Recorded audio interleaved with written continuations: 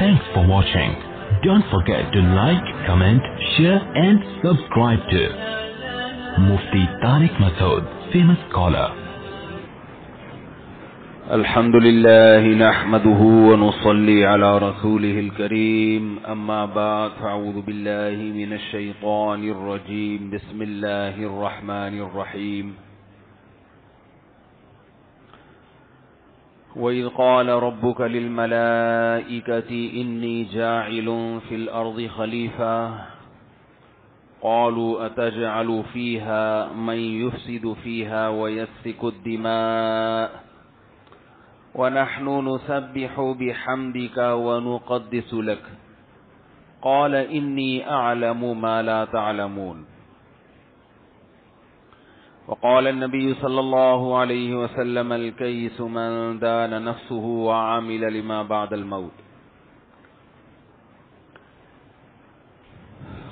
कुरान मजीद की एक आयत और रसूलुल्लाह सल्लल्लाहु अलैहि वसल्लम की एक हदीस पढ़ी है अल्लाह ताला से दुआ है अल्लाह ताला सही तरह से बात कहने की सुनने की समझने की और अमल की तौफीक अता फरमाए यौम आज़ादी तो दुनिया की हर कौम मनाती है। सब लोग ही आज़ाद हुए थे। पता नहीं किससे आज़ाद हुए। लेकिन बहरल आज़ाद सारे सभी हुए किसी न किसी दिन।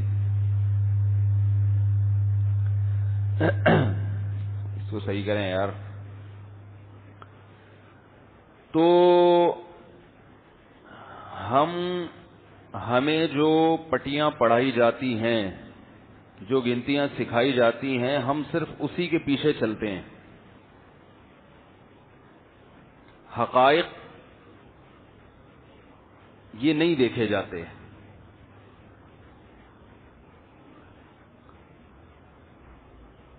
तो हर मुल्क आज़ादी मना रहा है। ऑस्ट्रेलिया ने जब ऑस्ट्रेलिया पे कब्जा किया।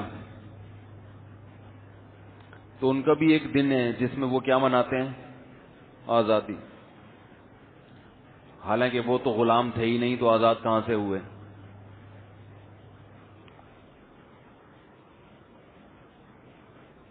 अगर हम आदम सलाम की पैदाइश का वाकया और फरिश्तों ने जो एतराज़ात किए थे, वो अपने सामने रखेंगे तो इनशाला मुझे फिर अपनी बात समझाने में आसानी होगी।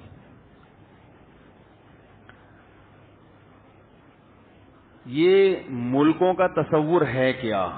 ये सही है, गलत है? ये जो लकीरें हैं, ये बाउंड्री है, ये ये ये मुल्क, ये वाला, ये मुल्क, ये है क्या? इसको समझने की बहुत शदीद ज़रूरत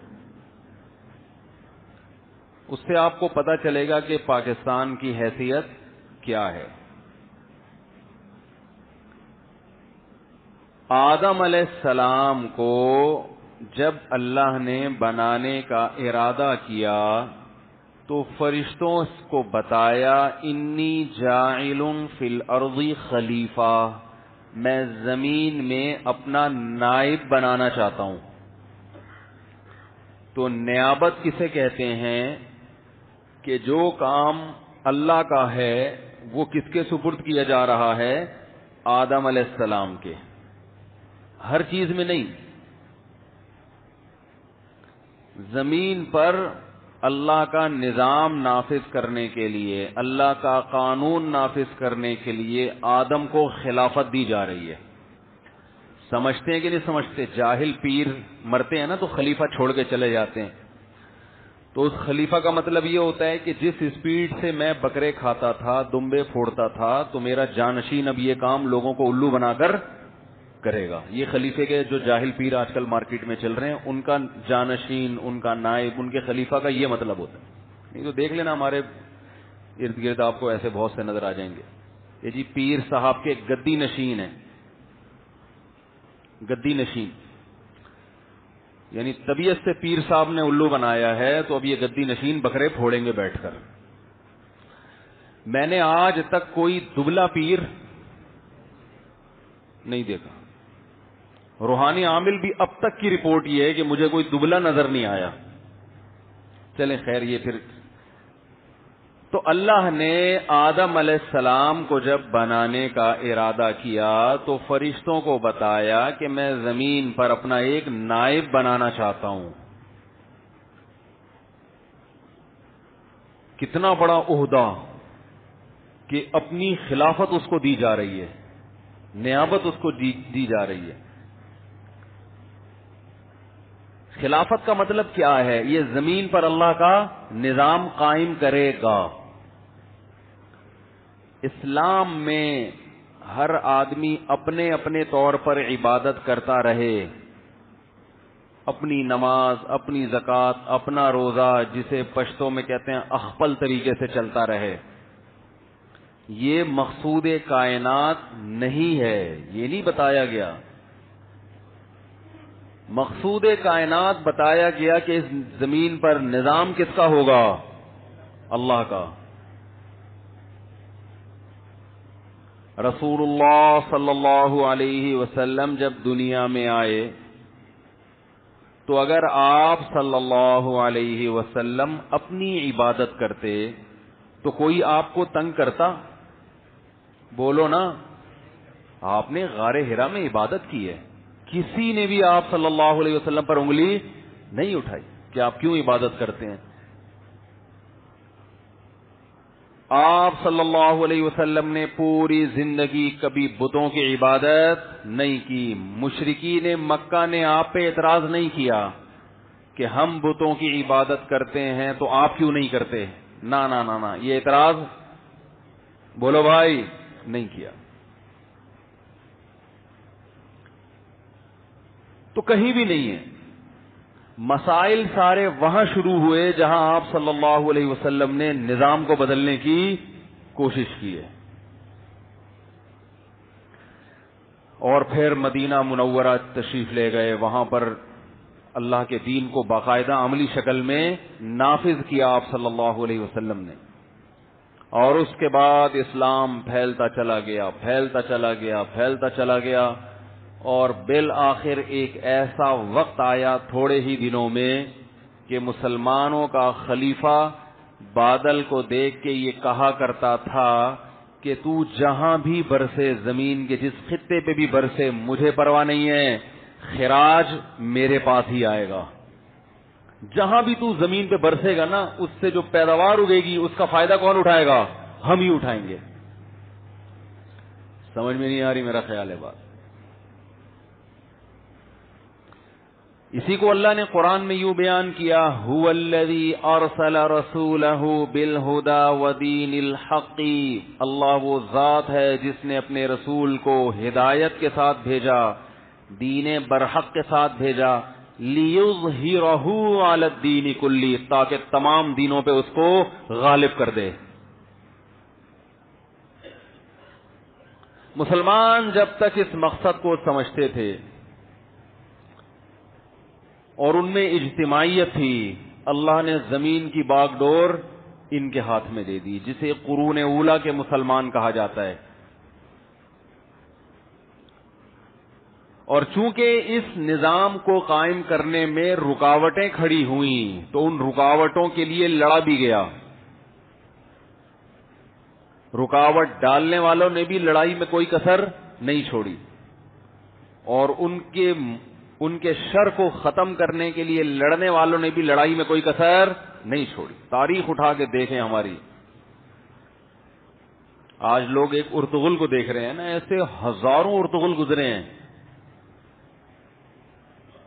ये वो दौर था जब साइंस और टेक्नोलॉजी किसके हाथ में थी? बोलते क्यों नहीं भाई? मुसलमानों के हाथ। गोरे हमसे सिर्फ़ तहजीब नहीं सीखते थे, इल्म भी हमसे लेते थे। ये वो दौर था जब इल्म में ये फ़र्क नहीं था कि ये दीन का इल्म है और ये दुनिया का इल्म। इल्म है जिस शोबे में भी हासिल करना चाहो।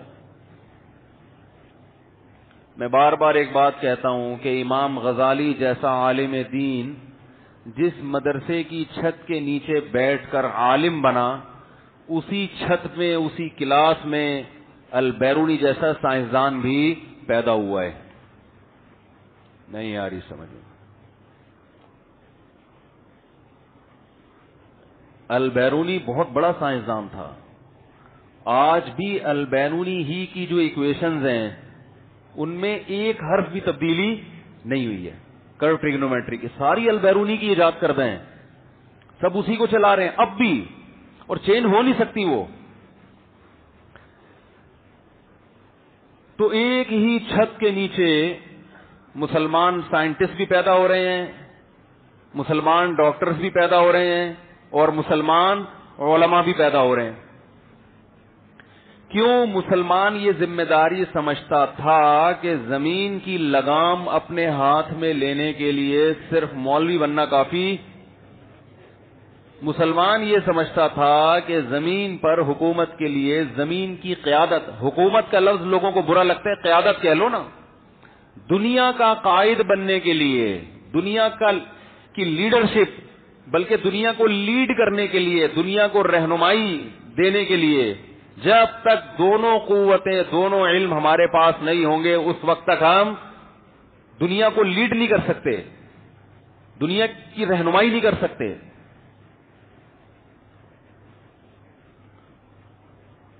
दाऊद सलाम अल्लाह ने बनी इसराइल में पैगंबर भेजे दाऊद सलाम दाऊद सलाम को नबूवत मिली तहजुद की वजह से नहीं, बल्कि मैदान जंग में जालूद को कत्ल किया उन्होंने। मैदान जंग में बहादुरी के गैर मामूली जौहर दिखाए। आपकी इबादत भी बहुत वक़तल दाऊद जालूत व मुल्क वल अल्लाह फरमाते हैं दाऊद ने जालूद को कत्ल किया और अल्लाह ने आपको इल्म और हिकमत अता फरमाई कमांडर बना दिया बनी इसराइल का और फिर आपकी कमांड में लड़ाई हुई है और अल्लाह ने ज़मीन के बहुत बड़े खत्ते पर आपकी हुकूमत को कायम कर दिया तो दाऊद सलाम के हाथ में अल्लाह ने लोहे को नरम कर दिया कि जिरहे बनाए। असबाब के बगैर, टेक्नोलॉजी के बगैर, अगर आदम सलाम की पैदाइश का जो मकसद था, उसको पूरा करना मुमकिन होता तो अल्लाह दाऊद सलाम के हाथ में लोहे को पिघलाता और उन्हें हुक्म देता कि जिरहे बनाओ और असलहा बनाओ। बोलो ना क्या हो गया? दाऊद सलाम की हुकूमत कायम हुई, फिर सुलेमान सलाम की और बिल आखिर फिर आहिस्ता आहिस्ता आहिस्ता आहिस्ता बनी इसराइल के हाथ से दुनिया निकल गई। और उसकी वजह, ऐश व इशरत में पढ़ना अयाशी में पढ़ना फ़ाखलाफा मिम्बादिम खलफुन अवाफलात शहवात सबसे पहली खराबी जो बनी इसराइल में आई, नमाजों का जाया करना। तो मैं ये कर रहा था कि दोनों इल्म इस ज़मीन पर हुकूमत के लिए, ज़मीन की क्यादत के लिए ज़रूरी। अगर सिर्फ़ मादी इल्म हासिल हो, दुनिया, दीन का इल्म ना हो तो इंसान दरिंदगी की तरफ़ चला जाएगा। वो लोगों की क्यादत गलत चीज़ में करना शुरू कर देगा। जैसे आज दुनिया में हो रहा है।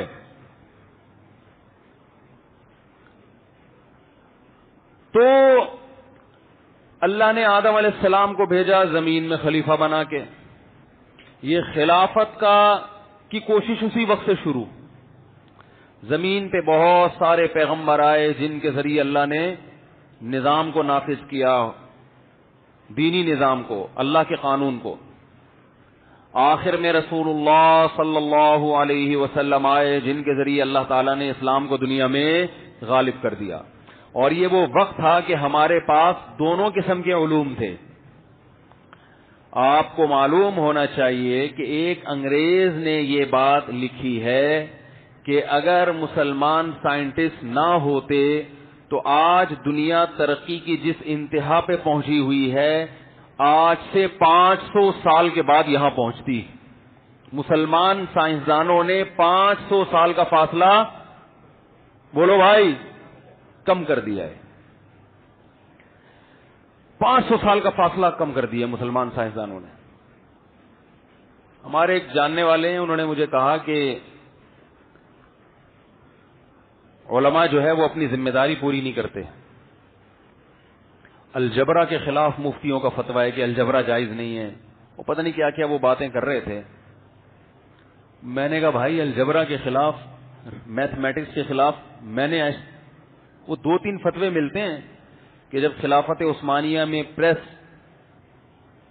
जब यूरोप ने प्रेस ईजाद किया ना, किताबें छापने के लिए तो बाज मुफ्तियों ने उसका, उसके खिलाफ फतवा दिया कि ये हराम है, ये कागज़ की बेहरमती है, उससे बड़ा नुकसान हुआ मुसलमानों को। लेकिन ये दो चार ही होते हैं हर जगह। इसका यह मतलब नहीं होता कि ओलमा अपनी ज़िम्मेदारी पूरी नहीं करते रहे। तो अलजबरा का मूजिद मुसलमान रियाजी दान था, जिसको मोहम्मद बिन मूसा अल खवारजिम कहा जाता है। ये इसने अलजबरा ईजाद किया है। लॉगरिथम मुसलमान, मुसलमानों की ईजाद है। जो बड़ी बड़ी अमाउंट्स है ना, उनको जब आपस में मल्टीप्लाई किया जाता है तो कैलकुलेटर तो थे नहीं। तो जब तक मुसलमान अपनी ज़िम्मेदारी समझता था कि मेरा मकसद सिर्फ़ जाती इबादत नहीं है, बल्कि ज़मीन पर अल्लाह का निज़ाम नाफिज करना है तो मुसलमान ने दोनों उलूम में भरपूर तरक्की की है। और उस वक्त हमारी, यानी आज से आप डेढ़ दो सौ साल पहले अगर जाते हो तो दो हमारी बड़ी रियासतें थीं, एक मुगल बादशाहों की हुकूमत हिंदुस्तान में और एक खिलाफत उस्मानिया। ये दो बड़ी ज़बरदस्त ताकतें थी मुसलमानों के पास, और हम गैरों के मोहताज नहीं थे। ये ज़्यादा पुरानी बात नहीं है। 1920 के करीब करीब खिलाफत उस्मानिया का खात्मा हुआ है। तो अल्लाह ताला ने इंसान को ज़मीन में खिलाफत के लिए पैदा किया और अपने निज़ाम को नाफिज करने के लिए। और ये निज़ाम नाफिज करना, इसमें लड़ाई भी इसका एक हिस्सा है, क्योंकि बातिल कुतें आपको नाफिज नहीं करने देंगी। वो नहीं चाहते। वो कहते हैं, आप नमाजें पढ़ें, रोज़े रखें अपने तौर पर। आप सिस्टम को चेंज करने की कोशिश न करें। जबकि इस्लाम सिस्टम में तब्दीली माँगता है। तो नतीजा ये निकला, सबसे पहले हमारी खिलाफत कायम हुई खुलफा राशिदीन की।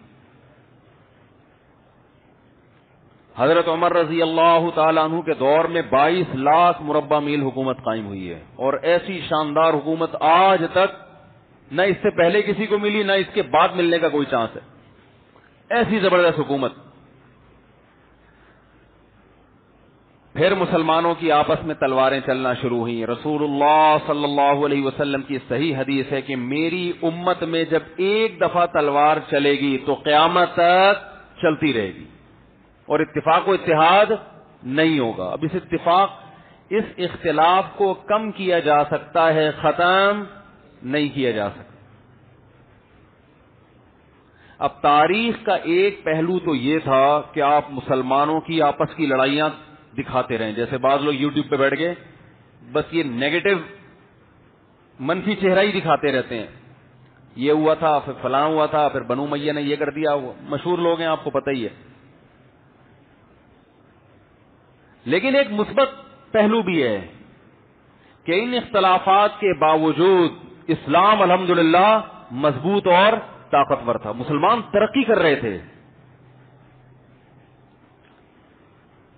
और मैंने बताया, वो वक्त आया कि खलीफा हारून रशीद कह रहा है कि बादल का टुकड़ा जहाँ भी बरसेगा, मुझे परवाह नहीं है। उसका खिराज किसे मिलेगा? हमारे पास ही आएगा। बनु उमैया की जब खिलाफत कायम हुई है तो बनु उमैया के दौर में एक बहुत बड़ा जुल्म हुआ हज़रत हुसैन रज़ी अल्लाह तु की शहादत, जो कि गलत था। लेकिन इस शहादत की वजह से मुसलमानों के दिल में बनु मैया के खिलाफ जज्बात पैदा होना शुरू हो गए। और सारे बनु मैया इसमें मुलविस नहीं थे। इसमें सबसे बड़ा जिम्मेदार तो इराक का गवर्नर था। तो बगावतें शुरू हुई, और भी कुछ गलत काम हुए, लेकिन बहुत से सही काम भी हो रहे थे। बहुत से साहबा उनके साथ थे, बल्कि सारे साहबा चंद एक के सिवा उन्हीं के साथ थे। और उसकी वजह क्या थी कि रसूलुल्लाह सल्लल्लाहु अलैहि वसल्लम ने इरशाद फरमाया, सही हदीस है कि जब मुसलमानों का एक अमीर हो, किसी एक अमीर पर जमा हो जाएँ तो उसके खिलाफ जो भी खड़ा हो, आप सल्लल्लाहु अलैहि वसल्लम के अल्फाज हैं, उसे कत्ल कर दो काइनम मनकान जैसा मर्ज़ी क्यों ना हो कितना नेक, कितना परहेजगार, कितना ही आदल, कितना ही मिलनसार, कितना तहजद गुजार आपने फरमाया, दूसरे को बर्दाश्त। बोलो ना भाई, नहीं करो, मार दो उसको। क्यों? इसलिए कि इतिहाद को ज़्यादा फोकस किया जा रहा है। एक अमीर हो, मगर वो जालिम हो उसे बर्दाश्त कर लो। इसलिए कि उसका जुल्म महदूद होगा लेकिन उस, उस एक होने की वजह से खैर और बरकतें होंगी वो लामहदूद होंगी। खुद ये तालीमत रसूलुल्लाह सल्लल्लाहु अलैहि वसल्लम के सच्चे पैगंबर होने की दलील है क्योंकि तारीख ने बता दिया कि जिन्होंने इस हदीस पर अमल किया उन्होंने इस्लाम के लिए खैरख्वाही की। जिन्होंने इस हदीस की मुखालफत की उन्होंने इस्लाम का बेड़ा गर्क कर दिया। तो बनु उमैया के दौर में जहाँ कुछ गलत काम हुए, वहाँ बहुत सारे अच्छे काम भी हुए। जिहाद होता रहा, इस्लामी सरहदें फैलती रहीं। सहाबा ताबीन तब ताबीन की एक बहुत बड़ी जमात उनके साथ सरहदों पर लड़ती रही। सिंध फतह हुआ। बड़ा अच्छा लगता है जब हम सही है, बुखारी में सिंध का लफ्ज पढ़ते हैं। मैं दौरा हदीस कर रहा था तो हमने हदीस सुनी, अम्मी आयशा रज़ी अल्लाह तहा के पास जा अरजुलमिन सिंधी आयशत रज़ी अल्लाह अनहा। हज़रत आयशा के पास सिंध से एक शख्स आया। अच्छा लगता है ना? आप हदीस पढ़ रहे हैं और हमारे, और अगर अंडा मोड़ आ जाए, फिर तो हम खुशी से पागल हो जाए। लेकिन उस वक्त अंडा मोड़ ईजाद नहीं हुआ था, वरना साहबा यहाँ भी पहुँचते। कहाँ अरब, कहाँ सिंध? मगर सिंध फतह हो चुका था। हज़रत उस्मान रज़ी अल्लाह तु का दौरे हुकूमत है। आजरबाईजान से हज़रत हुजैफा इबन यमान खत लिख रहे हैं कि आप लोगों को एक कुरान पे जमा कर दें। इसका मतलब हज़रत उस्मान के दौर में आजरबाईजान बोलो भाई, फतह हो चुका था। क्या मुसलमानों ने घोड़े दौड़ाए हैं? कोई ठहर नहीं सकता था इनके सामने। और वो देखते थे कि जिस दुश्मन जिस किस्म की लड़ाई जानता है, उसी किस्म की लड़ाई सीखो। आज हम मखनचू बन के बैठ गए हैं। दीन का एक शोबा है, जो जिस शोबे में घुसता है, वो समझता है कि इसके अलावा दुनिया में सब बेकार हैं। बस मैं ही ठीक हूँ। सारे सारे बेकार हैं। महंजू बन के बस जिस चीज़ का इल्म आपके पास आ गया ना, आप समझते हो कि मेरे अलावा दुनिया में सारे क्या हैं? बोलो भाई, बेवकूफ़ हैं।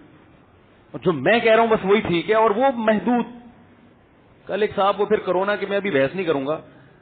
एक साहब ने कहा कि ये डब्ल्यू की साजिश है कोरोना वरोना। तो मैंने कहा, आपको किसने बताया? अखबार में पढ़ा होगा या व्हाट्सएप पे देखा होगा? इतने लोग मर गए, अभी भी यकीन? बोलो भाई, नहीं यार। राहत अंधूरी का इंतकाल हो गया। इतने बड़े शायर। आप कह सकते हैं उनका कोरोना से नहीं हुआ, उनका हार्ट अटैक से हुआ है। तो हार्ट अटैक कोरोना की वजह से हुआ है। यही बात समझा रहे हैं लोगों को समझ में नहीं आ रही। जब कोरोना की बीमारी होती है कोविड 19 होता है तो ज़रूरी नहीं कि उसी फेफड़े खत्म होने से मरे। कोई दूसरी बीमारी अटैक कर देती है आपके ऊपर। तो बुनियादी वजह कोविड 19 ही था। उसकी वजह से दिफाई निज़ाम कमज़ोर हुआ और हार्ट अटैक हो गया। राहत अंधोरी की बात आई है तो दो जुमले कहने दें। मैं राहत अंधोरी को ज़्यादा नहीं जानता। ऐसा ना हो मैं तारीफ़ में कुछ कलिमात कहूँ, लोग कुछ निकाल के दिखाएँ कि ये तो मुझे नहीं पता। मैंने सिर्फ़ उनकी शायरी सुनी है इंटरनेट पर और मुझे वो शायरी बड़ी खानदानी लगी। और मुझे इसलिए मोहब्बत हो गई कि उर्दू जबान के मुहाफिज समझ रहे हो? उर्दू मार्केट से क्या हो रही है? शार्ट हो रही है। देखिए शार्ट भी इंग्लिश कलर से मार्केट भी इंग्लिश कलर हो। रही है तो क्या करें अब तो जबान खत्म होने से सिर्फ़ जबान खत्म नहीं होगी, आपका कल्चर मार्केट से क्या हो जाएगा? शार्ट उर्दू में जो अदब, तमीज, मोहब्बत, ये आपको इंग्लिश में नहीं मिलेगा। इंग्लिश में बड़े छोटे सबको यू कहते हैं। आप जनाब इंग्लिश में नहीं है, मैंने बहुत बड़े अंग्रेज़ी दान से सुना है, जो अमेरिका रहे हैं कई साल, और अमेरिका की कोई रियासत ऐसी नहीं है जिसको उन्होंने छोड़ा ना हो। सब जगह रहे हैं, वहाँ यूनिवर्सिटियों में पढ़े हैं, पढ़ाया है। वो कहते हैं, उर्दू अदब के मुकाबले में अरबी और उर्दू अदब, इसके मुकाबले में कोई जबान, अरबी, उर्दू और फारसी, तीन जबान है। कोई जबान नहीं है जो अदब में इनके मुकाबले में आके खड़ी हो जाए। और उन्होंने बताया कि गोरे खुद इसका इतराफ करते हैं कि इंग्लिश में अदब नहीं है। अदब से मुराद वो अदब तमीज नहीं, जो, जिसको उर्दू अदब कहा जाता है, वो। ऑस्ट्रेलिया में मैं था, अभी हम टॉपिक पर आएँगे इंशाला ये दरमियान में बात आ गई है तो इसको जरा जल्दी से निपटा लें। ऑस्ट्रेलिया में मैं था तो मैंने वहाँ लोगों से कहा, यार, इंग्लिश इतनी बड़ी जबान है, मुशायरे क्यों नहीं होते इस जबान में? उन्होंने कहा, हुआ है ऑस्ट्रेलिया में। गोरों का क्या हुआ है? देखो इंग्लिश की अहमियत कम करना मकसद नहीं है। सबसे बड़ी इंग्लिश की खासियत है बैन अवी जबान। है अब ये गोरों की जबान नहीं है। पूरी दुनिया को आपस में जोड़ने के लिए इंग्लिश के अलावा आपके पास कोई ऑप्शन नहीं है। तो इंग्लिश ज़रूर सीखें आप।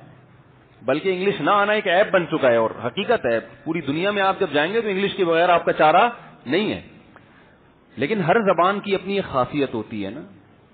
अदब आपको उर्दू में नज़र आएगा। तो मैंने कहा, यार इंग्लिश के मुशायरे उन्होंने कहा होते हैं। मैंने कहा, वो ट्विंकल टिंकल लिटिल स्टार होते होंगे। भाई इंग्लिश में क्या मुशायरा होगा यार? जुल्फों का लफ्ज है इंग्लिश में?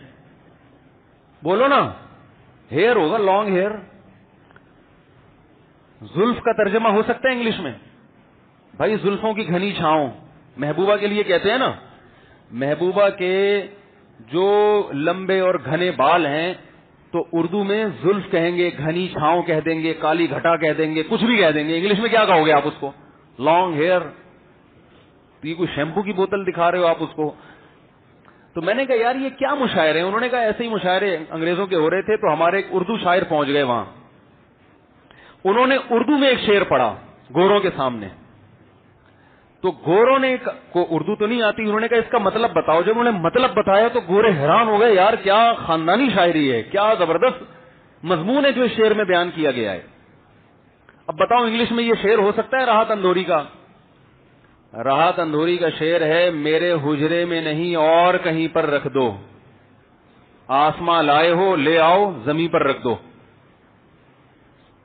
गुजर गई ना ऊपर से? इसलिए कि अब आपको उर्दू से मुनासबत क्या हो गई है? खत्म। अब वो इस्तारे और किनाया समझ में नहीं आएँगे। अब twinkle twinkle little star how wonder what you are ये समझ में आएगा आप तो बड़ा, बड़ी जान है भाई उर्दू जबान में। सुना करें शायरी। और भी दो चार सुना देता हूँ। वो क्या है यार अभी याद ही नहीं आ रहे। क्या है, छत पे बुला लूँगा, इशारा करके। मुंतजिर हूँ सितारों की, जरा आँख लगे। मुंतजिर हूँ, सितारों की जरा आँख लगे, चाँद को छत पे बुला लूँगा इशारा करके। समझ रहे? मुंतजिर हूँ, सितारों की जरा आँख लगे। ये इंग्लिश में नहीं हो सकता। इंग्लिश में आप स्टार्स बोलेंगे, वो फिल्मी स्टार लोगों का दिमाग उधर चला जाएगा। मुंतजिर हूँ, सितारों की जरा आँख लगे, चाँद को छत पे बुला लूँगा इशारा करके। तो अब याद नहीं आ रहे, वरना मुझे बहुत सारे अशार रहा तंदूरी के याद हैं। क्योंकि बयान किसी और मौजू पे लेके बैठा था ना मैं तो खोपड़ी उधर को गई हुई है। ये खोपड़ी का लफ्ज इंग्लिश में नहीं मिलेगा आपको। हमारे यहाँ हर किस्म की जबान है। तो उर्दू में देखो, आप आइए, बैठिए। जिस किस्म का जिसको जो मकाम देना है, उसी किस्म का सेंटेंस आप इस्तेमाल करेंगे। कुछ अल्फाज उर्दू के इंग्लिश इंग्लिश के उर्दू में बहुत ज़्यादा आ गए हैं तो वो आ गए हैं तो अब आ गए हैं। मुझे एक साहब ने कहा, आप इंग्लिश के अल्फाज क्यों इस्तेमाल करते हैं उर्दू में? पूरा बयान उर्दू में किया करें। मैंने कहा, समझेगा नहीं कोई। जो दूसरी जबान का लफ्ज जब कसरत से इस्तेमाल होना शुरू हो जाए ना, इसका मतलब होता है, इस जबान ने उस लफ्ज को एक्सेप्ट अभी एक्सेप्ट का लफ्ज ही आप देख लो, इसको कबूल कर लिया है। और अब ये जबान का हिस्सा बन गया जो बन गया, अब उसको नहीं निकाला जा सकता। आइंदा के लिए कोशिश की जा सकती है कि हिफाजत करो। जो हो गए, वो हो गए।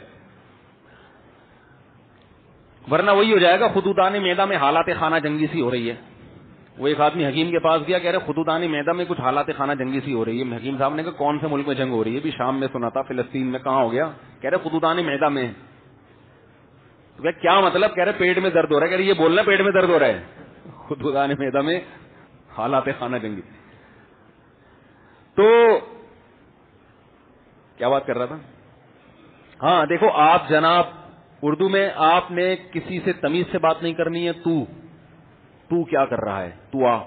बोलते हैं ना, तू, आ। अगर थोड़ा सा काबिल इज़्ज़त है वो तो आप आओ। आ के बजाय क्या लगा दोगे? आओ। बेगम पे फिट करते हैं, फिर मज़ा आएगा। बेगम आपको बुला रही है ना खाने पे। तो बेगम आपसे कह रही है, आ। आओगे आप? आ, खा। ये भी एक लफ्ज तो है ना, आ, खा। ये इससे पता चलेगा कि अच्छा खानदान, जहाँ आपने निकाह किया है, वो अच्छा खानदान नहीं है। इंग्लिश में पता चलेगा? नहीं पता चलेगा। प्लीज़ लगा देंगे बस वो शुरू में। आओ, खाओ, ये थोड़ी सी थोड़ी सी इज़्ज़त दी है मगर आप अभी भी अपनी इंसल्ट इसमें महसूस कर रहे हैं। बेइज्जती ये भी इंग्लिश की खूबी है कि हर जबान, ये उर्दू की खूबी है कि हर जबान को आसानी से अपने अंदर एडजस्ट कर लेती है वो। ये भी इंग्लिश की, उर्दू की खूबी है कि इधर उधर से अल्फाज उधार भी ले लेती है और बाद उधार ऐसे लिए कि वापस नहीं कर रही। वो इसी का हिस्सा बन चुके हैं। तो आ, खा, आओ, खाओ। मजीद ये शो करेगी कि मेरा खानदान अच्छा है, हमें हमारे यहाँ छोटे बड़े का अदब है। तो फिर शोहर से ऐसे कहेगी, आइए और खाना खाइए।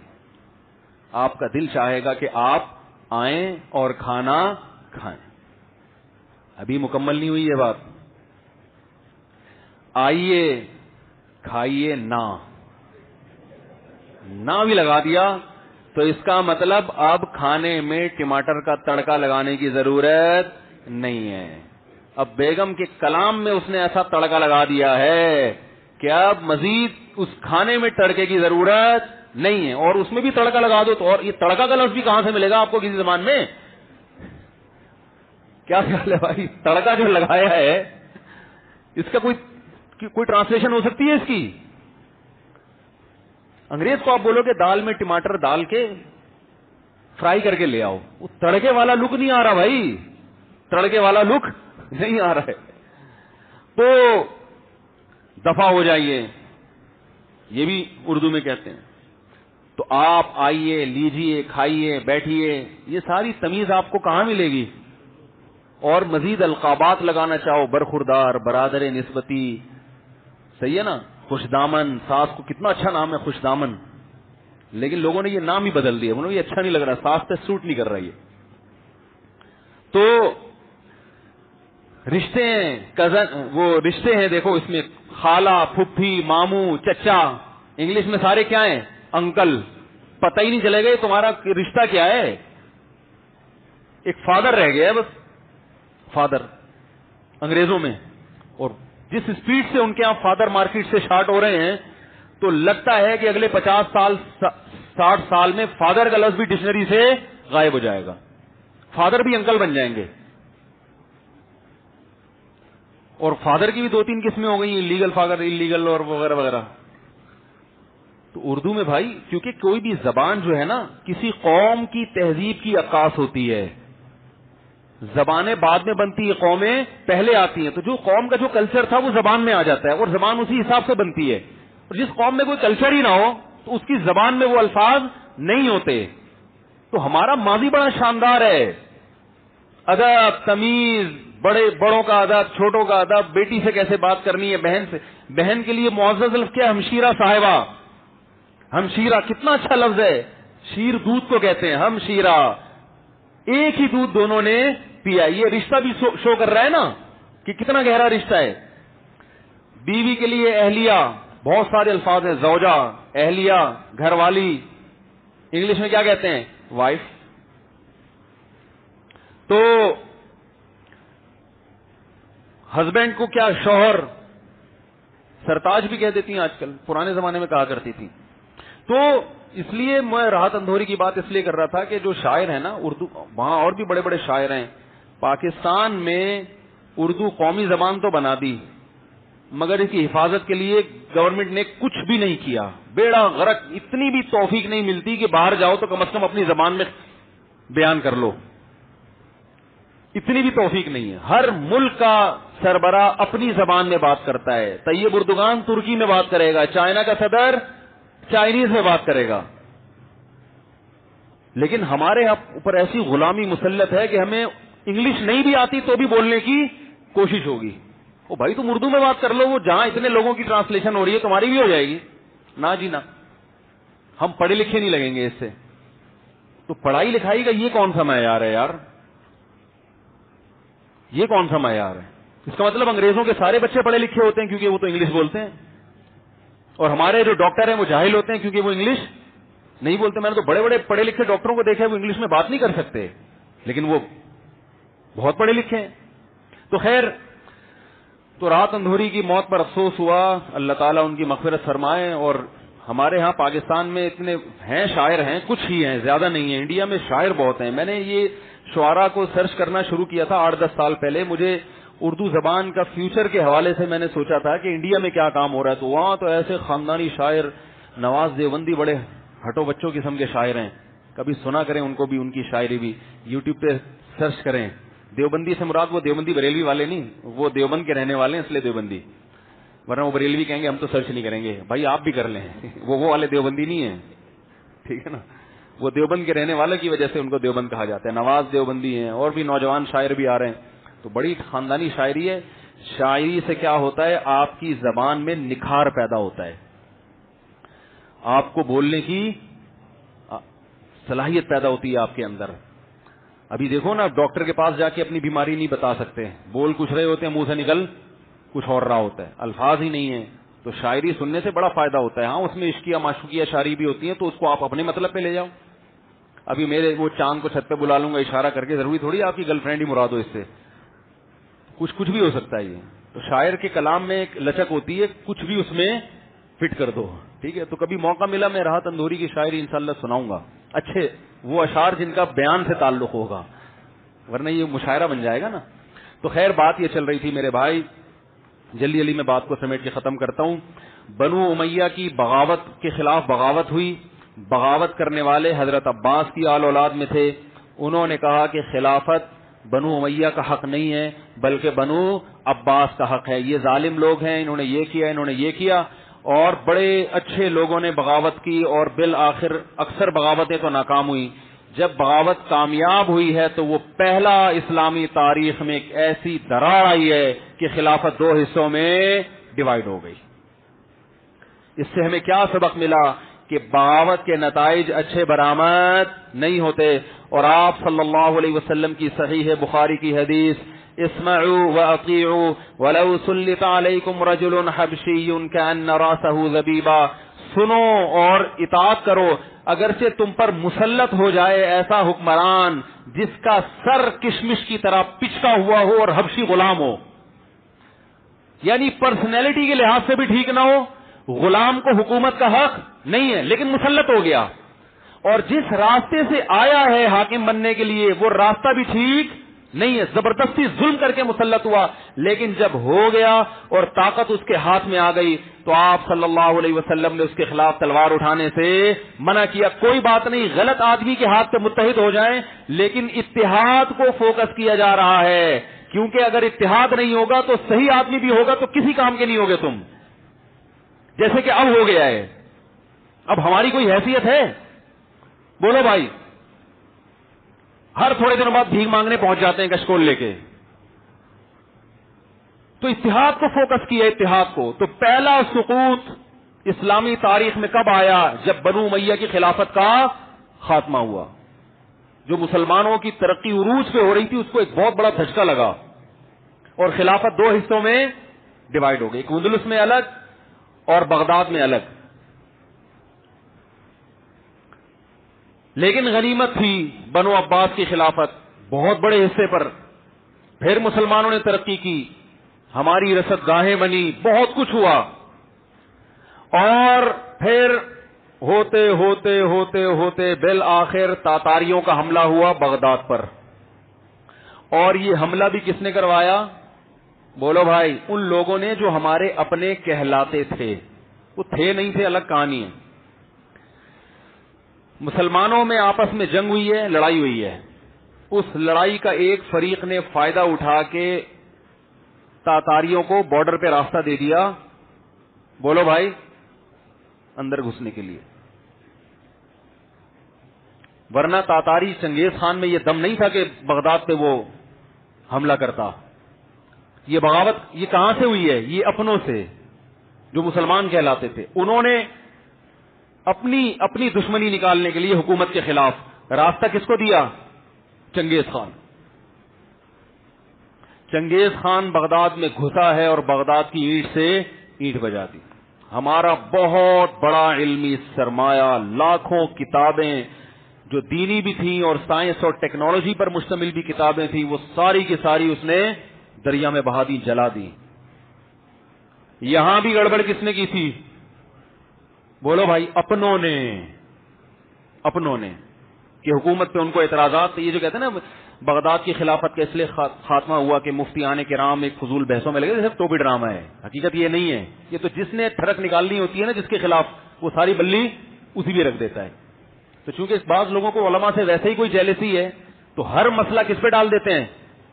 ओलमा पे डाल देते हैं। वरना बगदाद की खिलाफत का जो खात्मा हुआ, उसकी बुनियादी वजह यह थी कि कुछ अपने लोगों ने, जो अपने कहलाते थे मगर अपने थे नहीं, उन्होंने हुकूमत से इंतकाम लेने के लिए बॉर्डर पर रास्ता दे दिया किसको? तातारियों की फौजियों को घुसने के लिए। लेकिन अल्लाह का अजीब करम हुआ कि वो तातारी मुसलमान हो गए बाद में। उन्होंने क्या किया? और मुसलमान भी कैसे हुए हैं? वो बहुत सौ को अगवा करके ले गए, खोपड़ियों के मीनार बना दिए। कहा जाता है, उन्हीं में एक बच्ची थी जिसको अगवा किया गया। उसने अपना एक विजन बनाया कि मैं इस कौम में काम करूँगी। वो बड़ी हुई और उसने वहाँ बच्चों को इस्लाम सिखाना शुरू कर दिया। बहुत बड़े इनकलाब का ज़रिया बनी वो। बहरहाल, ये बगदाद की खिलाफत का खात्मा हुआ। इसके पीछे भी कौन? गैर नहीं थे। कौन थे? बोलो ना भाई, अपने थे।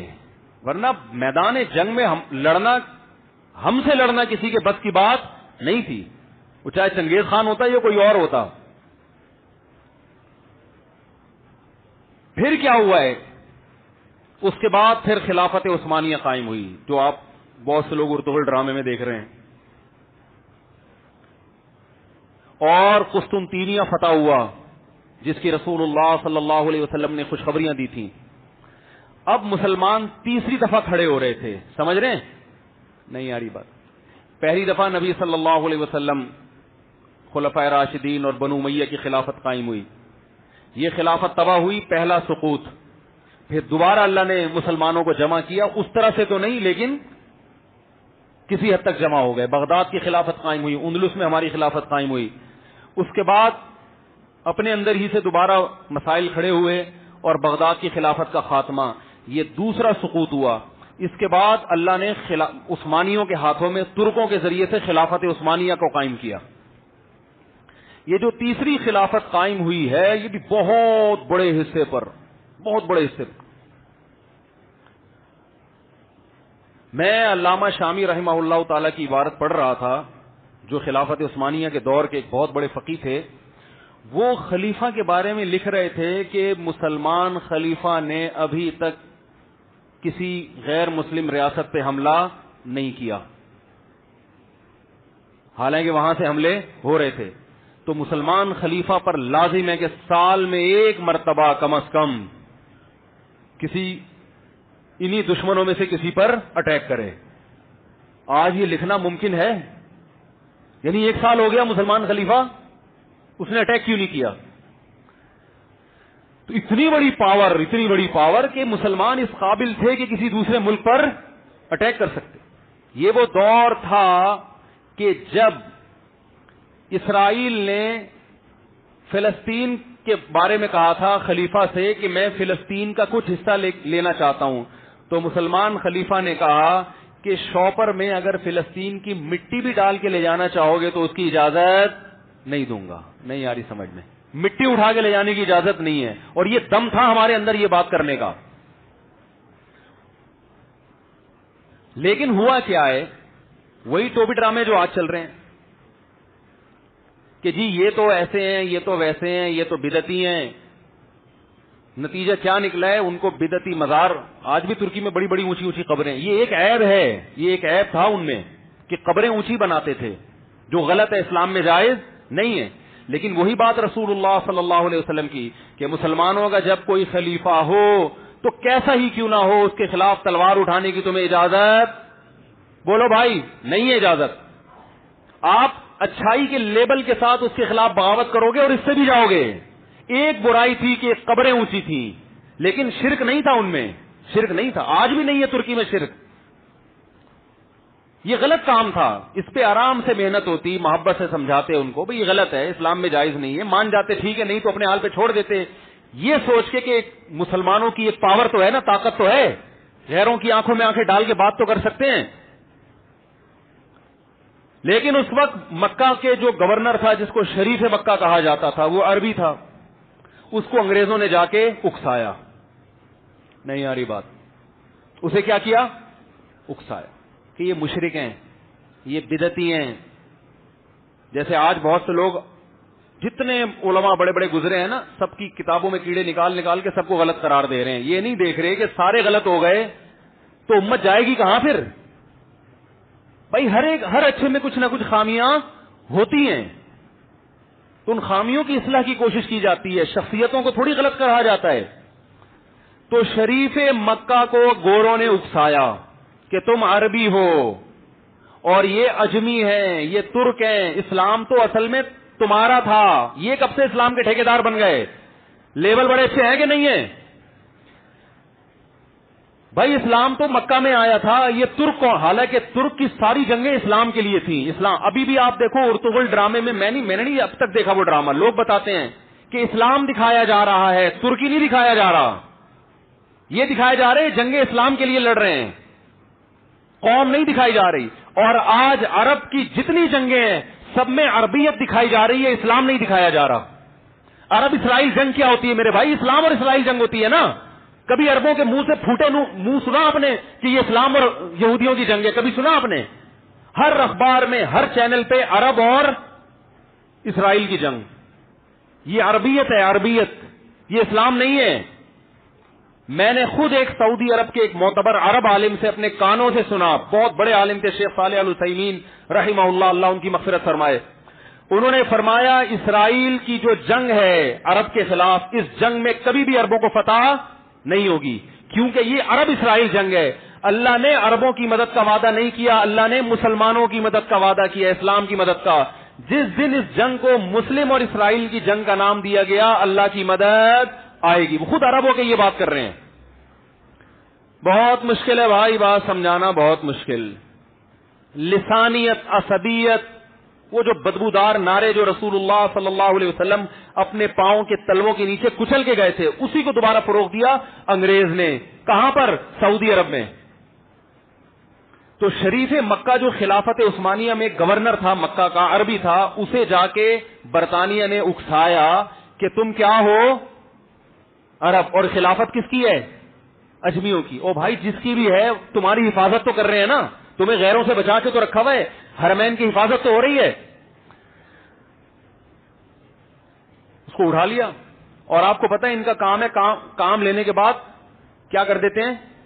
साइड पे लगा देते उस शरीफ मक्का को बार बार जाके वर्गलाया कि तुम अरब हो, तुम अरब हो, और उसके साथ कुछ अरब भी मिल गए। बहुत से अरबों ने मुखालफत की। उन्होंने कहा, नहीं, हम इस बगावत को नहीं मानते। नबी सल्लल्लाहु अलैहि वसल्लम ने बगावत से मना किया है। लेकिन साथ बरतानिया था। वो फोर्स कर रहा था। शरीफ मक्का, जो उस वक्त का गवर्नर था, जिसको शरीफ मक्का कहा जाता था, उसने अपनी अरबियत की बेस पे खिलाफत उस्मानिया के खिलाफ मदीना में बगावत, मक्का में बगावत का ऐलान कर दिया। और तुर्क खुलफा इतने दीनदार थे। मदीना में भी बगावत हुई और मक्का में भी।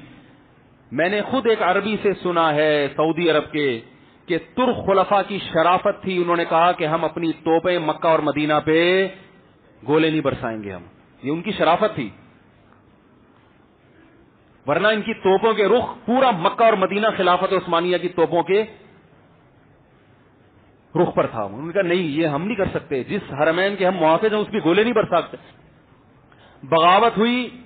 ये कौन सा सुकूत था इस्लामी खिलाफत का? तीसरा। समझ में नहीं आ रही बात। और बिल आखिर खिलाफत उस्मानिया का खात्मा। और शरीफ मक्का को ठेंगे के अलावा कुछ भी हाथ में नहीं आया। जब उससे काम अंग्रेज़ों ने लिया, उसे साइड पे लगा के आले सऊद को हुकूमत दे दी समझ में आ रही है बात? नहीं आ रही। हुकूमत किसको दे दी? आले सऊद। जी? जो चल रही है। अब लोग सऊदिया के खिलाफ बोलते हैं कि ये बादशाही निज़ाम है, और ये यूँ है तो ये यूँ है हम उनसे कहते हैं। और कहते हैं, ये बागी थे, जो भी थे। हम कहते हैं, जो भी थे, अब क्या है? अब अगर इसके खिलाफ खड़े हो गए तो इससे भी नहीं रही बात अब इससे भी जाओगे। अब अगर आप इसके खिलाफ खड़े हुए, हुकूमत सऊदिया के खिलाफ, कि ये यूँ है, ये बादशाह जो भी है, हमारे अंदर अब दम, बोलो भाई, नहीं है। तोहीद का निज़ाम तो कायम हो गया। सऊदी अरब में तोहीद बड़ी खानदानी है, कबर परस्ती बिल्कुल भी नहीं है। लेकिन मेरे भाई, हम सब ओवरऑल गुलाम किसके बने हुए हैं?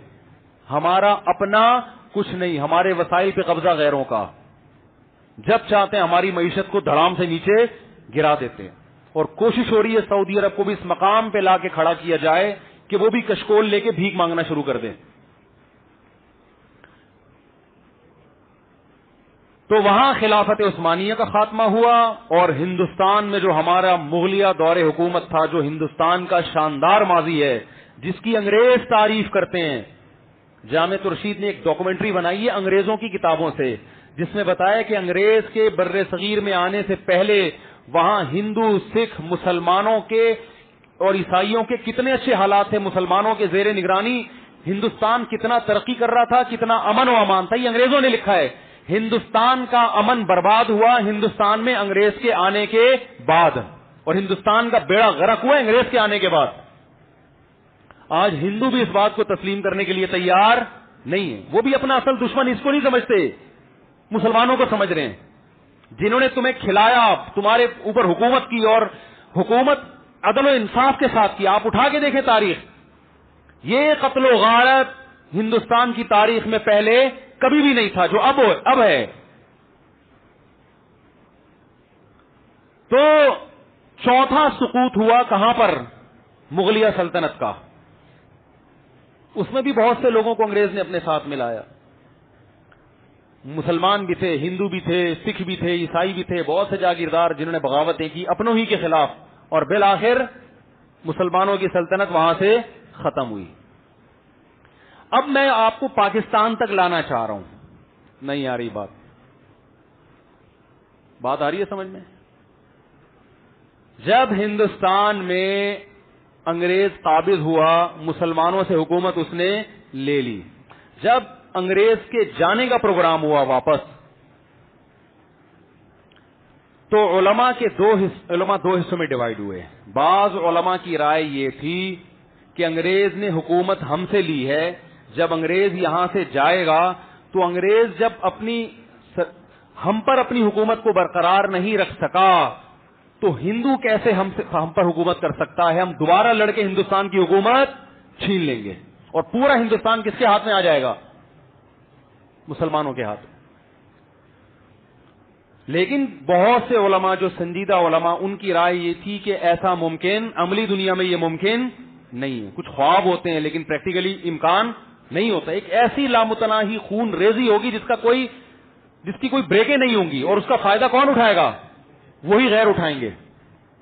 उनकी राय यह थी कि मुश्तरक हुकूमत बनाई जाए, इलेक्शन करके। हिंदू और मुस्लिम मिल के हुकूमत करें। यह राय भी बड़ा वज़न रखती थी। लेकिन एक तीसरी राय, जो ज़्यादातर देवबंद के ओलमा जिसमें शरीक थे वो राय ये थी कि अंग्रेज़ की वफादारियाँ मुसलमानों के साथ नहीं है।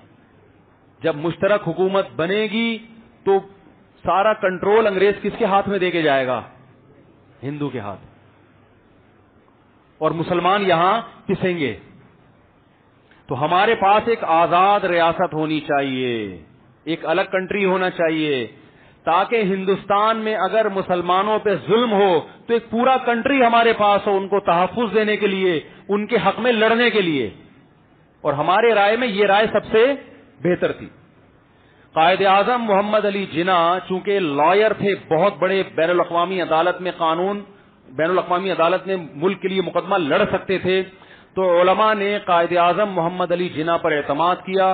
जिनमें सर फहरिस्त हज़रत मौलाना अशरफ अली थानवी रही ताला हैं और मौलाना अशरफ अली थानवी के कायद आज़म से ताल्लुकात इतने अच्छे थे जैसे घर के फर्द होते हैं, इस पर मैं मुस्तकिल एक बयान कर चुका हूँ। और कायद आज़म मोहम्मद अली जिना मौलाना शरफ अली थानवी की बहुत ज़्यादा तारीफें किया करते थे। लोगों को फखर से बताते थे कि हमारे पास एक ऐसा आलिम दीन मौजूद है। और कायद आज़म उनको फॉलो करते थे। अल्लामा शब्बीर अहमद उस्मानी रहीमहुल्ला ने कायद आज़म से कहा कि हज़रत, आप पैंट कोट पहनते हैं, आप मुसलमानों के लीडर हैं, आपका लिबास मुसलमानों वाला होना चाहिए। कायद आज़म ने पैंट कोट पहनना छोड़ दिया, शेरवानी पहनना शुरू कर दी उनके इस मशवरे पर। ये मैं इसलिए कह रहा हूँ, आज जो हमें हिस्ट्री पढ़ाई जा रही है ना स्कूलों में, उसमें पाकिस्तान बनाने में ओलमा का जो किरदार है, उसका सिरे से कोई तस्करा है ही नहीं। हालाँकि सबसे बड़ा किरदार ओलमा का अंग्रेज़ों को निकालने में भी और पाकिस्तान बनाने में भी। क्या वजह थी कि कायदे आज़म ने बांग्लादेश में अल्लामा ज़फ़र अहमद उस्मानी से पा, पाकिस्तान का झंडा लहरवाया और यहाँ पर अल्लामा शबीर अहमद उस्मानी को कहा कि आप सबसे पहले पाकिस्तान का झंडा लहराएँ। इसकी वजह दोनों आलिम दोनों मौना शरवली थानवी के भांजे। नहीं आ रही मेरे ख्याल है बात समझ में। ये बातें समझ में नहीं आएँगी। कायद आज़म का ओलमा से बड़ा गहरा ताल्लुक। देखो, कोई कंट्री जब वजूद में आता है तो सबसे पहले उसका झंडा कौन लहराएगा? ये बात बहुत माना रखती है कि नहीं रखती? तो मौलाना शरफ अली थानवी के भांजे को कह रहे हैं, मौलाना शब्बीर अहमद उस्मानी को, कि झंडा कौन लहराएगा सबसे पहले? आप लहराएँगे। दुनिया से जाने से पहले वसीयत कर रहे हैं कि मेरा जनाजा कौन पढ़ाएगा? अहमद उस्मानी। ताकि मेरे ऊपर जो जितने ताने बाज लोग कहते थे, ये पारसी हैं बाज कहते थे ये राफिजी हैं। सारे तानों की नफी हो जाए। कि मैं मुसलमान हूँ और सुन्नी मुसलमान हूँ। देखो, जनाजा कोई भी ये बर्दाश्त नहीं करता कि मेरे मसलक के अलावा कोई और पढ़ाए। तो कायद आज़म पर वलमा ने एतमाद किया, क्योंकि अब जंग के ज़रिए नहीं मुल्क लिया जा सकता था। बैन अवी अदालत का दरवाज़ा खटखटाया जाएगा। और इसकी बेस बड़ी मज़बूत थी, जो बैन अवी अदालत में कायद आज़म केस लेकर गए वो केस ये था कि हिंदू, मुस्लिम अलग अलग कौमें हैं, हमें इस्लाम को नाफिज करने के लिए हमें एक ऐसा खिता चाहिए जहाँ हम कुरान और सुन्नत के मुताबिक ज़िंदगी गुजार सके। कुरान और सुन्नत के मुताबिक ज़िंदगी हिंदुस्तान में भी लोग गुजारते हैं। वहाँ मस्जिदें अलहमदुल्ला आबाद हैं। खाली नहीं है मस्जिदें। सब कुछ जो काम यहाँ होते हैं, वहाँ भी होते हैं। लेकिन आइन में इस्लाम नहीं है। लॉ इस्लाम नहीं है। हमें ऐसा कंट्री चाहिए जिसका लॉ क्या होना चाहिए? कुरान और सुन्नत। और कमाल है कि जब करार करारदादे जब जो आइन लिखा गया तो आइन की सबसे पहली शिक ये लिखी गई है कि हाके में आला कौन है? अल्लाह है। ये बड़ी खान, बड़ा खानदानी काम हो गया। और हमारा जितना टेलीविज़न पे जो लिबरल तबका है उसको सबसे ज़्यादा चिड़ किससे है? कि ये पैदा होते ही बच्चे के कान में अजान क्यों दे दी? नहीं आ रही बात। मुसलमान बच्चा पैदा होते ही कान में अजान दी जाती है ना? पाकिस्तान वजूद में आया और सबसे पहला लफ्ज आइन में क्या लिखा जा रहा है? कि हाकिम आला कौन है? अल्लाह। और दूसरा ये लिखा जा रहा है कुरान और सुन्नत के मुनाफी कोई कानून नहीं बनेगा। तो भाई पाकिस्तान उसी वक्त मुशर्रफ का इस्लाम हो गया था। लेकिन हशर देखो क्या किया हुआ है? हशर क्या किया हुआ है? तो अब हम लोगों से एक, एक बात कहते हैं। कि भाई, अब अगर आप इस मुल्क के खिलाफ नेगेटिविटी फैलाओगे, इस मुल्क को सीधा करने की कोशिश तो करो। वो कैसे करो, ये मैं बताऊँगा अगले टॉपिक में इंशाला कि आइन के मुताबिक ये कंट्री चले, जैसे कि आइन में लिखा गया है। लेकिन इस मुल्क को कमज़ोर करने की कोशिश अगर बंद कर दे थोड़ी देर के लिए यार। अगर इस मुल्क को किसी भी उनवान से इसकी दराड़ें कमज़ोर करने की कोशिश की गई तो मेरे भाई, ये पांचवा सुकूत होगा। इसके बाद हालात इससे बदतर होंगे, बेहतर नहीं होंगे। चाहे वो खिलाफत के नाम पे हो, चाहे वो इस्लामी हुकूमत के नाम पे हो, किसी भी नाम पे। क्योंकि अब तक जितनी बगावतें हुई हैं, उनके लेबल बहुत अच्छे थे, मगर नतज बहुत ही भयानक थे।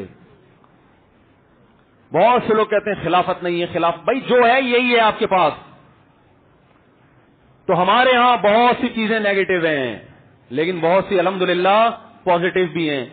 हमारा मीडिया एक पहलू को दिखाता है। देखो मीडिया जो पाकिस्तान की तारीफें कर रहा है ना, ये दिल से तारीफें नहीं करते। इन्हें कोई मौका मुल्क को जलील करने का मिलता है, फ़ौरन रुसवा करते हैं। मैं वो बैठा हुआ था, एक हुकूक निस्वानियत की अलमबदार हैं, खातून। मोहतरमा बार बार ये कह रही हैं कि हमारे, वो वीमेन राइट्स है ना तो हमारे यहाँ बच्चियों के साथ नाजेबा सलूक होता है। हमारे यहाँ बाप, बेटी और बेटे में फ़र्क करता है। बेटों को नवाजा जाता है, बच्चियों को यूँ किया जाता है। ऐसे, मैंने उनसे कहा, मोहतरमा, हमारे यहाँ ऐसा नहीं होता जैसा आप कह रही हो। हमारे यहाँ मशहूर है कि बाप को बेटियों से मोहब्बत, बेटों की नस्बत ज़्यादा होती कुछ होंगे ऐसे। तो ये हर वक्त जो जूता दिखाते रहते हैं ना, आप ऐसे हो, आप ऐसे हो, आप ऐसे हो, आप ऐसे हो, ये आप से मोहब्बत करने वाले और आपके खैर ख्वाह नहीं है बहुत कुछ हमारे यहाँ खानदानी भी है। हमारे तो बड़ा मस... मैं ऑस्ट्रेलिया में था, मैंने वहाँ बयान किया, बड़ा अच्छा कंट्री बड़ा साफ़ सुथरा अदलो इंसाफ, अमन, शांति, बहुत मज़ा आया। तो एकदम जब इंसान बाहर जाता है, कहता है, यार, ये देखो, ये गैर मुस्लिम मुल्क है, इनके मुसलमान, इनके हाकिम भी गैर मुस्लिम, अवाम भी गैर मुस्लिम, कितना सुकून, और हमारा मुसलमान कंट्री है। है भाई? और हमारे यहाँ क्या हो रहा है? तो ये एकदम इंसान के दिल में इस्लाम से नफरत पैदा होती है ना। तो मैंने उनसे एक बात कही, मैंने कहा, देखो, ये जो आप इतने अच्छे हो ना, एक हफ़्ते के लिए हमारे हुक्मरान आप ले लो और अपने वाले एक हफ़्ते के लिए ट्राई के तौर पर। एक हफ़्ते के लिए अपने वाले हमें दे दो। हम इनसे डबल अच्छे ना हुए तो हमारा नाम बदल देना। और आप जो हम अब है ना, आप हमसे दस गुना मजीद बदतर ना हुए तो फिर हमारा फिर भी हमारा नाम बदल देना। अंग्रेज़ यहाँ से चला गया, मगर वो कोशिश में लगा हुआ है कि इस मुल्क का बेड़ा गर्क आपको पता है, बलोचिस्तान से सोना कितना है बलोचिस्तान में? इतना सोना है, माहिर मीशत से हमने सुना है, इतना गोल्ड बलोचिस्तान में, कौन खा रहा है वो गोल्ड? कोई तफ्तीश करने वाला है? बहुत से राज हैं जो फाश नहीं कर सकते, हम बैठ के फिर बोलेंगे, बयान दाग दूँगा मैं, लेकिन फिर आप ही अफोर्ड नहीं कर पाओगे, और मैं भी कहा जाऊँगा, अंदर। खा रहे हैं हमारे हुक्मरान खा रहे हैं गोल्ड। ये खा रहे हैं कौम का पैसा। दुनिया की देखो चारों मौसम किसी कंट्री में आना ये खुद बहुत बड़ी बात होती है। हर हर मौसम में फैले भाई। हर मौसम में आम खत्म हुआ मार्केट में आम के रुखसती से पहले अंगूर आया हुआ है दबा के आया हुआ है, है कि नहीं? इतने फल एक्सपोर्ट भी हो रहे हैं। भाई, इतना आम बाहर जा रहा है, इतनी चीनी जा रही है, इतना आटा जा रहा है, कौम भी फोड़ रही है सुबह शाम। और जनाब, भेज भी रहे हैं, इतना पेट्रोल पैदा हो रहा है, इतनी गैस पैदा हो रही है। और इतने कोयले के जखायर तो ऐसे एक माहिर मीशत से मैंने सुना, वो कह रहे हैं 200 साल पाकिस्तान अपनी कौम को फ्री बिजली दे सकता है। कोयले के इतने जखायर हैं। ये तो हमारा कंट्री है गॉड गिफ्टेड यहाँ नेमतें अल्लाह की तरफ़ से और लोगों में सलाहियतें कि इनके बाद भी हम बचे हुए हैं। तो ये तो पाकिस्तान इस्लामी कंट्री है, अल्लाह ने इस्लाम की बका का वादा किया, इसलिए बचे हुए हैं। तो ये तो कुछ नेगेटिव चीज़ें, कुछ पॉजिटिव जो नमाज़ के बाद इंशाल्लाह कुछ देर मसाइल का सेशन होगा, कुछ पॉजिटिव चीज़ें और मैं इंशाला बताऊँगा जो बड़ी खानदानी है। और वो उससे आपको पता चलेगा कि जैसे तैसे लंगड़े लूले, जैसे मर्ज़ी हैं मगर हैं हम फिर भी अलहमदुल्ला खानदानी। ये लफ्ज भी इंग्लिश में नहीं मिलेगा आपको, खानदानी। फैमिली थोड़ी बोलेंगे इंग्लिश में, यार। तो इनशाला नमाज़ के बाद थोड़ा सा मैं क्लास लूँगा आप लोगों की। ठीक है? जो बैठने चाहें बैठ सकते हैं, जाना चाहें, जा सकते हैं।